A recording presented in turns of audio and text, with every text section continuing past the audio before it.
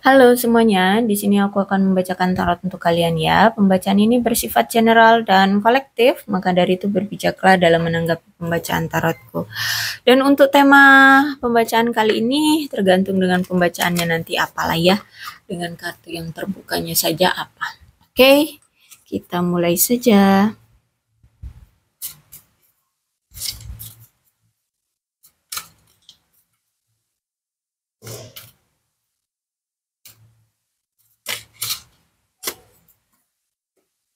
Harmoni, Anda dapat merasakan hubungan yang penuh kasih dan seimbang dengan segala hal.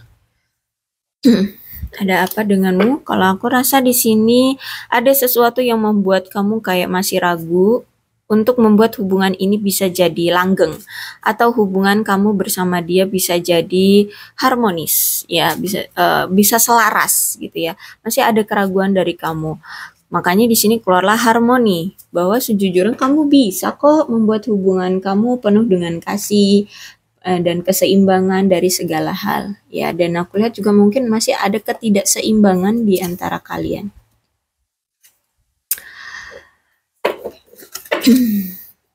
Agak susah megangnya.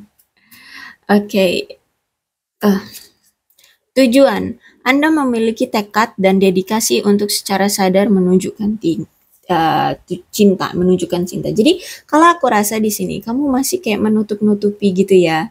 Kamu kayak um, uh, cinta, sayang, tapi kayak ah nggak mau ah nunjukinnya gitu. Kayak lagi pengen pengen masa bodoh gitu. Kayak pengen pengen dikejar kayak gitu kayak pengen diperdulikan biar dialah yang action gitu. Mungkin selama ini bisa jadi kamu yang selalu action sama dia mungkin selama ini kamu yang selalu perhatian sama dia. Jadi kali ini tuh kamu kayak oh iya cinta ya cinta. Tapi kayak nggak mau lagi berjuang nggak mau lagi nunjukin kebucinannya seperti itu. Nggak mau lagi menunjukkan rasa cintanya. Kayak pengen yang flat aja pengen yang dialah gantian gitu yang ngejar-ngejar atau yang berusaha kayak gitu ya. Jadi saat ini kamu lagi kayak pengen flat gitu. Masa lalu, melalui kekuatan cinta, Anda melepaskan segala situasi atau energi yang stagnan untuk mengubah ruang hati Anda. Oke, jadi kalau aku lihat kayak ada hubungan yang masa lalu, uh, hubungan masa lalu kamu dengan dia itu stuck, bahkan mungkin sampai saat ini. Sehingga um, harus adanya suatu perubahan ya, perubahan di hubungan kalian agar hubungan kalian itu tergerak kembali. Jadi harus ada action. Nah, bisa jadi selama ini uh, kamu action tapi dia enggak. Dia action, kamu enggak. Nah, inilah yang ngebuat hubungan kalian itu stuck. Ya, coba untuk belajar dari masa lalu kenapa hubungan kalian selalu stuck. Hubungan kalian um, tidak berkembang ya. Coba coba lepaskan masalah yang sering terjadi di antara kalian Mungkin ini masalahnya sering berulang dan membuat hubungan kalian selalu berulang kali juga stuck. Bahkan mungkin sampai saat ini. Ya, yang sok-sok cuek. Nah, itu ya cobalah untuk tidak lagi sok-sok cuek. Kalau misalkan komunikasi buruk lah, cobalah untuk di uh, konsistenkan dalam berkomunikasi ya tolong tolong konsisten gitulah ya kepemilikan Anda mungkin ada ah Anda mengakui kesalahan dan mencapai an, mencap mencapai Anda dan belajar mencintai semua sebagai pelajaran. Oke, gini. Sejujurnya baik kamu ataupun dia, kalian itu punya perasaan saling memiliki. Ya, kalian itu sama-sama merasakan uh, perasaan saling memiliki. Kamu milik dia, dia milik kamu. Uh, cuman karena ada masa lalu yang membuat hubungan kalian akhirnya tuh kayak goyah, stuck, terus itu ya ada terjadi masalah gitu ya sehingga di sini cobalah untuk mengakui kesalahan. Jangan diem-dieman atau lari dari masalah. Siapa pun ini yang membuat masalah di hubungan, cobalah untuk uh, komunikasikan. Lalu cobalah akui tentang kesalahan-kesalahan itu. Ya, kalau aku lihat dari situ nanti akan ada suatu kejujuran, akan ada suatu uh, keterbukaan, Terus solusi juga dari bagaimana cara menanggapi situasi kalian yang saat ini stuck. Ya, bisa jadi kes, uh, hubungan kalian yang stuck ini juga karena kalian tidak pernah mau mengakui kesalahan. Siapa nih yang uh, selalu tidak pernah mengakui kesalahan? Coba untuk terbuka ya. Aku ya kalau memang bersalah ya bersalah gitu. Ya tinggal minta maaf gitu. Apa susahnya? Ya kan? Nah, itu ya karena uh, di sini sejujurnya kamu dengan dia sama-sama punya perasaan saling memiliki, cuman ada ego yang tinggi, ada gengsi di sini, ya. Ada gengsi yang sangat besar.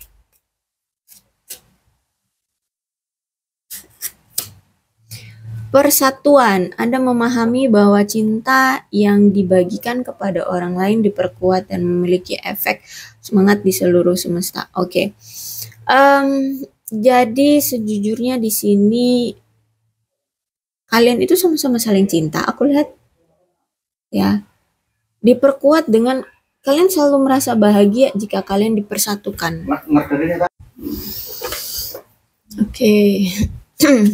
Kemudian di sini mempercayai. Anda memiliki hubungan yang kuat dengan suara jiwa Anda yang penuh kasih dan percaya pada intuisi Anda. Oke. Okay.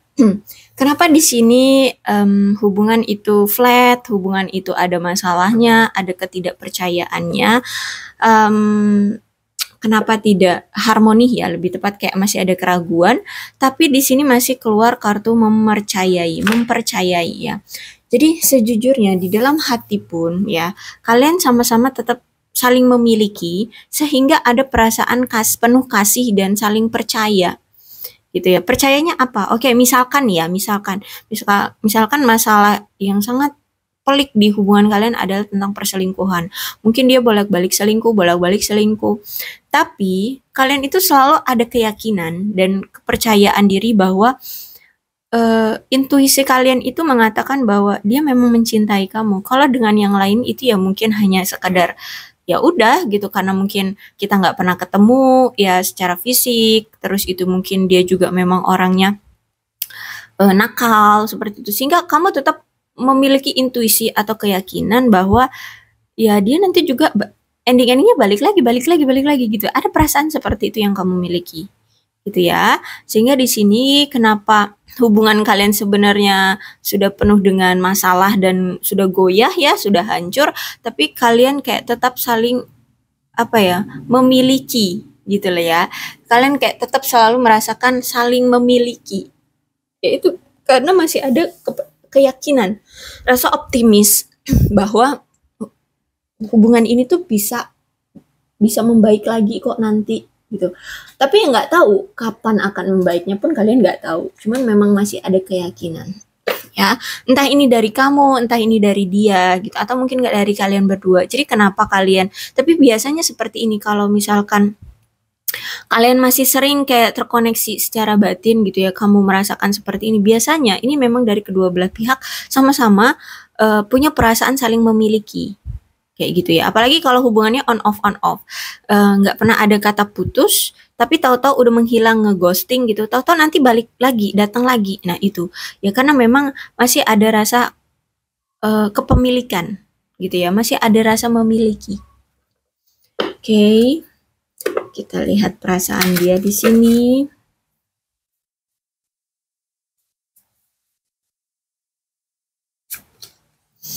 aku benci kalau aku telah menyakiti kamu. Ya, uh, mungkin entah dulu atau mungkin sampai sekarang dia pernah menyakiti kamu dan dia kesel banget loh sama diri dia sendiri. Kenapa sih kok aku nyakitin kamu kayak gitu ya?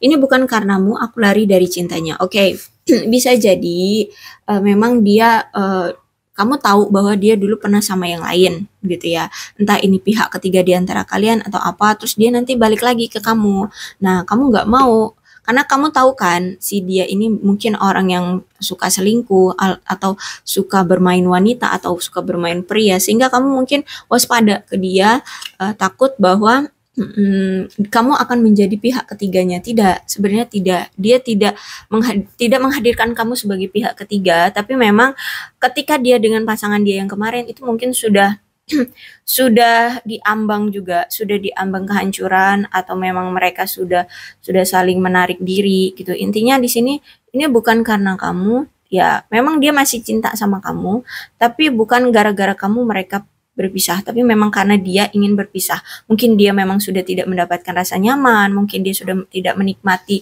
hubungan itu, kayak gitu ya. nah, di sini uh, dia berharap kamu tidak menyerah dengan dia, kamu masih mau sama dia seperti itu ya. Karena di sini benar-benar dia mencintai kamu. Dan mungkin saat ini kamu tuh kayak udah nggak percaya ya bahwa dia mencintai kamu gitu ya. Jadi masih ada kayak kebimbangan dari kamu masih ada kayak keraguan dari kamu. Um, tapi sejujurnya dia masih mencintai kamu kok. Kalau masalah cinta ya masalah perasaan dia masih cinta sama kamu. Percayalah itu. Uh, dan saat ini tuh ada sesuatu yang dia butuh untuk selesaikan terlebih dahulu ya mungkin tentang patah hati dia di masa lalu dengan uh, orang yang selain kamu atau uh, dia lagi ada masalah sehingga di sini dia sebenarnya tuh butuh bantuan kamu. Cuman kayaknya uh, gengsi ya, kayak gengsi gitu. Jadi kalau bisa bisa nggak kamu bantuin dia gitu. Karena kalau aku lihat di sini gengsi si orang ini ya, dia gengsi egonya tinggi. Saat aku memikirkanmu, dibutuhkan semua yang ada di dalam diriku untuk tidak menggapainya. Aku mencintaimu. Ya, dia di sini selalu kepikiran kamu, dia selalu um, keinget kamu terus ya dia kayak pengen banget datang ke kamu tapi dia tunda kayak dia tahan untuk tidak merealisasikan rasa rindunya ke kamu terlebih dahulu gitu. Ya mungkin karena masih ada sesuatu yang perlu dia sembuhkan atau perlu dia selesaikan inilah yang membuat dia akhirnya menahan diri sekuat tenaga gitu ya. Ya kalian tahu lah ya kalau orang yang kangen banget sama seseorang tapi kayak ditahan jangan jangan jangan telepon jangan bertemu nah seperti itu kan rasanya tuh kayak ah ya ampun gitu banget ya Nah, sehingga itulah yang dia saat ini rasakan. Dia tuh kangen banget, rindu banget sama kamu, kepikiran sama kamu terus, tapi lagi dia tahan, gitu ya. Tidak bisa dia utarakan, gitu ya. Nah, kalau dibilang cinta, aku mencintaimu, ya. Oke. Okay. Jadi, uh, kalau perasaan ini ya memang cinta, gitu ya. Bahkan ada rasa kepemilikan. Makanya uh, walaupun kalian sama-sama saling menarik diri kali ya udahlah ya nanti juga dia balik lagi gitu. Mungkin memang lagi ada masalah aja di hidup dia mungkin dia lagi ada kerjaan. Jadi kamu kayak nggak nggak neg negatif thinking. Oke okay, mungkin terkadang ada pemikiran sedikit-sedikit negatif uh, jangan-jangan nih dia sama yang lain lagi nih kayak gitu ya. Tapi mungkin kamu sering stalkingin dia juga lihat uh, tapi tumben amat nih kok kalau misal biasanya kalau dia punya yang lain itu langsung dia upload ya fotonya dia bersama si A gitu ya. Fotonya dia lagi tertawa bahagia bersama si B kayak gitu ya. Tapi ini kok enggak ya? Kok yang dia upload selalu kerja kerja kerja kerja? Oke. Okay.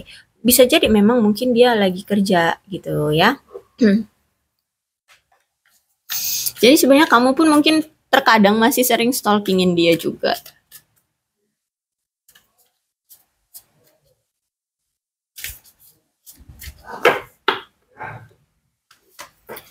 okay. five of sword. Kalau aku rasa di sini um, hubungan kalian tidak menguntungkan ya. Jadi dulu mungkin dia sering sekali uh, mengkhianati kamu, menduakan kamu, uh, melakukan kecurangan ke kamu. Mungkin dia pernah berselingkuh ya. Juga selalu banyak konflik di antara kalian, adanya ketidak sepemahaman akan adanya tidak kesepakatan, bahkan sampai ada rasa dendam di antara kalian um, ya itu mungkin karena dia suka selingkuh, sering uh, melakukan kecurangan sama kamu. Sehingga di sini aku lihat memang uh, terindikasi sekali hubungan kalian ini sebenarnya udah gagal. Dan memang dari dulu ini mungkin sering sekali terulang sehingga hubungan kalian itu nampaknya memang udah parah sih masalahnya ya. Dan uh, mungkin juga kamu dengan dia ini udah sering sekali uh, putus nyambung putus nyambung atau on off on off ya. Um, oke. okay jadi aku rasa di sini ketika dari awal ya, dari awal ketika kamu tahu bahwa kamu diselingkuhin, uh, ketika hubungan ini tuh sudah diambang kehancuran, uh, ya mau nggak mau kamu selalu menerima untuk harus pergi dari dia gitu ya. Cuman sayangnya di sini ada four of wands. Berarti dikala ketika kalian berpisah ya ya eh, apa ya ada keinginan dari dia untuk kembali lagi sama kamu ya. Entah sudah berapa selang lama mungkin ketika kamu sudah have fun dengan keluargamu kamu sudah tenang tidak kepikiran dia lagi kamu sudah tidak tidak apa ya tidak bergantung ke dia lagi, kamu sudah tidak sedih lagi jika dia tinggalkan ya, dikala dia tinggalkan kamu, kamu sudah tidak pusing lagi. Eh, tahu-tahu dia uh, balikan lagi sama kamu. Dia datang lagi ke kehidupan kamu, ya. Membawa lagi kebahagiaan ke kamu seperti itu. Jadi energinya memang sering sekali on off on off. Nah, ketika dia datang pasti ketika dia sudah melihat kamu lagi have fun dengan teman-temanmu, dengan keluargamu, kamu sudah tidak tidak tidak apa tidak sakit lagi, tidak tidak marah lagi ke dia atau tidak sakit lagi tidak sakit hati lagi ke dia. Nah, itu dia datang. Ya, dia minta balikan. Seperti itu energinya, ya. Oke. Okay. Kemudian ada Page of Pentacle. Karena memang sejujurnya dia ini punya uh, rasa pengabdian dan keteguhan yang kuat tentang uh, perasaan dia ke kamu. Gini, jadi memang dia sempat ragu ya, apakah benar aku ini memang tertarik sama kamu, aku suka, aku cinta sama kamu. Nah, itu sempat dia kayak ragu, mendenial seperti itu ya. Tapi ketika dia paham, dia bolak-balik ninggalin kamu, dia bolak-balik mengkhianati kamu, dan kalian bolak-balik juga berpisah. Nah, di saat perpisahan itulah dia uh, semakin menyadari betapa wah kuat sekali ya perasaan aku ke kamu. Uh, kenapa setiap kita berpisah tidak ada komunikasi, tidak ada pertemuan? Tidak ada interaksi ya. Kok aku merasakan kayak rindu banget sama kamu kepikiran kamu terus ya kayak nggak mau melepaskan kamu. Nah itu yang dia rasakan. Mengapa? Jadi uh, dia selalu bolak-balik datang ke kamu lagi ya. Dia datang lagi datang lagi. Ya karena ini ya ada dorongan untuk um, selalu bersama kamu untuk selalu memiliki situasi atau momen dengan kamu uh, selalu didorong untuk ya pengen punya kebahagiaan gitu dengan kamu. Ya, jadi ketika selama ini kalian punya masalah, perselingkuhan, kebohongan, pengkhianatan atau apa pun itu, sejujurnya memang tampak di mata kalian itu kayak ini masalah besar, ini masalah tentang kepercayaan. So ini masalah yang um, apa ya? Gak boleh seharusnya terjadi di dalam hubungan sehingga kamu menganggap hubungan ini besar. Sebenarnya tidak. Masalah ini tuh ketika sudah dianalisa, sudah dievaluasi, sebenarnya bisa masalah ini diperbaiki gitu. Makanya mungkin juga bisa jadi karena ada rasa ketakutan dari dia kenapa dia e, berpisah dengan kamu cukup lama ya karena di situ juga ada proses dia memikirkan ya gimana caranya dan memikirkan juga e, bagaimana perasaan kamu, apakah kamu masih marah seperti. Makanya dia e, melarikan diri dari kamu cukup lama. Tapi setelah sudah sekian lama dia merasa juga oh oke okay, hubungan ini sebenarnya atau masalah ini sebenarnya bisa kok teratasi ya. Jadi uh, ada perasaan kayak ya dia juga dibilang menyepelekan tapi kayak uh, kayak kayak dia nggak berani untuk lebih tepatnya kayak nggak berani untuk menyelesaikan masalah karena dia tahu bahwa kamu mungkin akan lebih marah dari ini gitu ya. Sehingga dia memang harus menggunakan waktu untuk bisa memudarkan um, apa namanya uh, per perspektif kamu tentang masalah yang dia buat gitu ya. Dia butuh waktu untuk sambil juga dia karena dia nggak tahu harus berbuat apa ya dengan sikap kamu, dengan reaksi kamu, sehingga dia memang membutuhkan waktu untuk bisa kembali seperti itu. Tapi sejujurnya di sini masih ada keyakinan kuat, ada keterikatan yang kuat dari dia ke kamu. Ya, makanya di sini uh, dia masih uh, mencintai kamu, masih terus datang lagi ke kamu, ya. Bahkan aku lihat di sini dia sering sekali membayangkan diri dia bisa bersama kamu, bisa bersatu dengan kamu di masa depan gitu ya, bisa hidup ya uh, bersama kamu di masa depan kayak gitu. Cuman memang karena ini Page of Pentacles berarti memang ada rasa penyesalan dari si dia karena dulu dia tidak eh, karena dulu dia pernah tidak memperlakukan kamu dengan baik atau dulu dia pernah uh, membuat kamu terluka seperti itu ya. Ada rasa penyesalan seperti itu kok dari dia. Kemudian juga di sini Seven of Pentacles. Kalau misalkan kalian belum menikah ya, kamu dengan dia belum menikah. Berarti di sini aku rasa si dia ini baik dia ataupun kamu sama-sama sedang memikirkan uh, memikirkan kembali hubungan kalian sebelumnya. Ya kenapa hubungan ini tidak gagal? Sebenarnya tujuan ini hubungannya mau ke mana? Itu sedang kalian pikirkan kembali.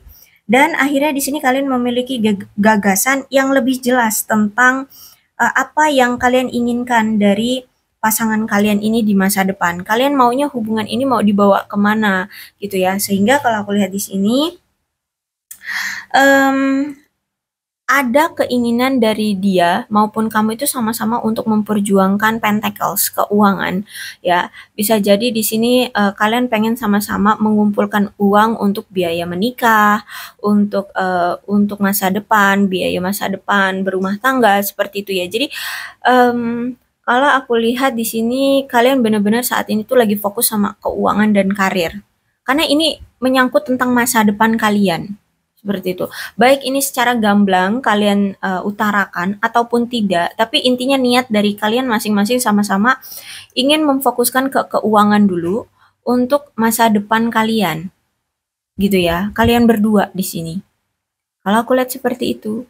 Karena mungkin memang niat kalian uh, di masa depan kalian tidak mau tidak mau memiliki keluarga yang kekurangan secara finansial. Seperti itu ya. Sehingga uh, saat ini tuh kalian benar-benar yang lagi fokus banget sama uang sama materi.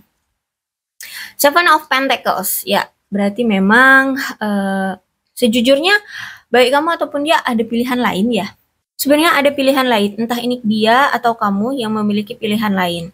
Tapi walaupun di sini uh, ada pilihan lain ya tetap aja pikiran, hati, ya perasaan kalian itu balik lagi satu sama lain gitu ya. Kalau misalkan di sini kamu ada yang baru atau ada pilihan, ya ya kamu tetap walaupun mau sama si yang baru tetap pikiran kamu selalu balik lagi ke dia. Dia pun begitu. Dia ada pilihan walaupun dia bersama yang baru tapi ah, pikiran dia selalu kembali ke kamu. Jadi energinya di sini balikan lagi datang lagi ya. Kalau misalkan saat ini kalian belum bisa bersama ya uh, bisa jadi ini lagi fokus sama keuangan dan juga mungkin masih ada si orang baru ya pihak uh, aku harus ngomongnya pihak ketiga atau gimana? Intinya ada masih ada pilihan ya masih ada pilihan. Tapi ending endingnya juga juga nanti ini balik lagi nih ke uh, kalian berdua ya bersatu kembali. Kalau aku lihat di sini ya. Masih ada energi seperti itu. Jadi kalau misalkan memang kalian masih ingin bersama ya ya udah uh, yakin aja. Karena toh di sini pun kalian sama-sama yakin kok ya sama-sama yakin.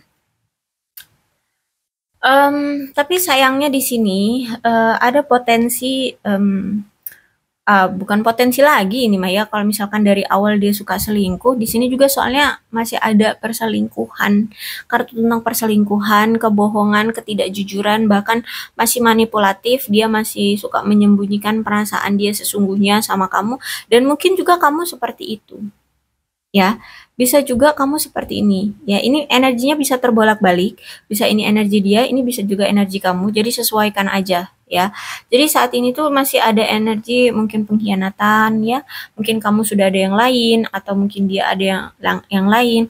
Tapi kalian tetap menyembunyikan itu gitu kalau aku rasa ya. Dan ini uh, aku lihat berasal dari teman kalian ya. Jadi orang orang yang nggak jauh-jauh dari kalian ya. Pihak ketiga di antara kalian adalah orang-orang terdekat ya. Yang awalnya dari teman uh, bersikap baik akhirnya kalian kayak luluh entah ini kamu ataupun dia ya dari sisi kamu atau dari sisi dia. Kemudian ya udah pihak ketiga lah ini yang menyabotase hubungan kalian.